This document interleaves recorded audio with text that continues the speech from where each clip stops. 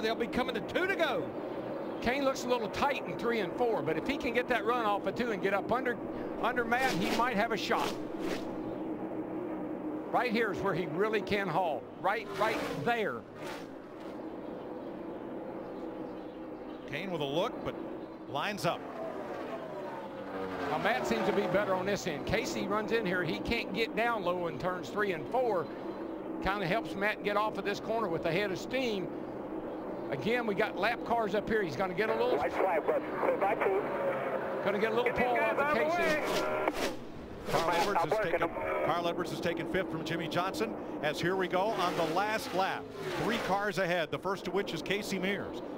And they'll Clear by catch two, Mears before the start finish line. Down, down, down. Out of- I got it, Matt. I got it, buddy. Bring it to the line here. Clear by three. Can you believe you're driving, holding off Kasey Still Kahne, and you're telling the spotter what you need? Kahne looks to to the the inside. Clear by four. Light the candles. Happy birthday, Matt Kenseth. Woo! Teamwork. Heck! Oh, it's a huge win. Thank you, huge. Cliff. Thank you, Joe Gibbs. Thank you, everybody. Man, thanks for picking up the stops, man. Awesome. Yes. And thank you, Lord. Thank you for putting me here.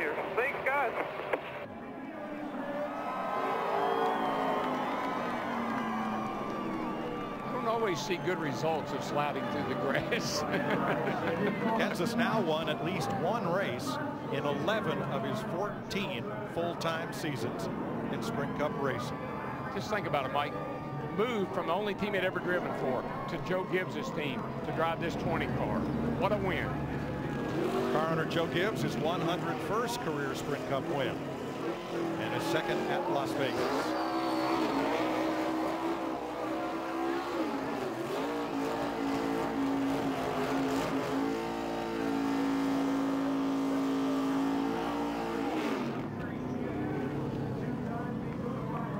Matt Kenseth burns down the house